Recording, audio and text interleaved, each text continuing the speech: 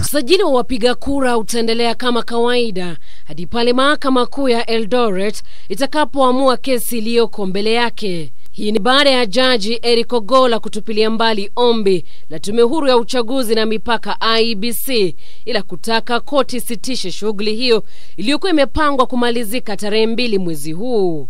by both parties that the application before the court is very serious, both in terms of finances to be incurred if the voter registration continues, and also in terms of the content in relation to the public.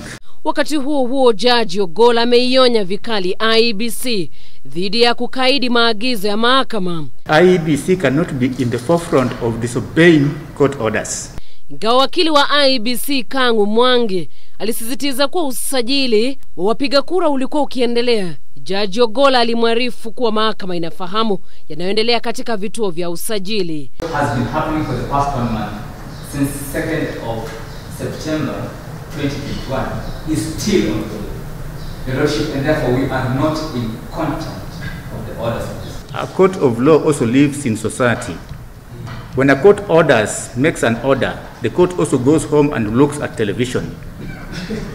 When you have senior members of the first respondent coming on stage and saying that they have, they have disobeyed god order, what do you expect? IEBC ilijitetea kuwa haina pesa kugharamia kuendelea kwa usajili wa wapiga kura wapya. Siku ya Jumatatu, mtetezi wa haki za binadamu alienda mahakamani kutaka muda wa usajili wa wapiga kura uongezwe siku tisini, lakini jaji Ogola alitoa agizo shughuli hiyo iendelee hadi tarehe tisa mwezi huu utakaposikizwa pande husika za kesi hiyo na kuamua.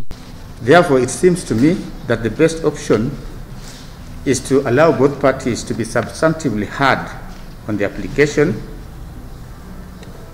before any decision can be made. I therefore allow the Mr. Labasanga's application for adjournment and accordingly the application will be heard tomorrow physically in court Hata hivyo, ibc imefika mahakamani leo kupinga agizo hilo, lakini haikufua dafu. Kesi sasa imepangwa kusikizwa kesho kuanzia saa tano na nusu asubuhi. Angela Cherur, K24 TV, Nairobi.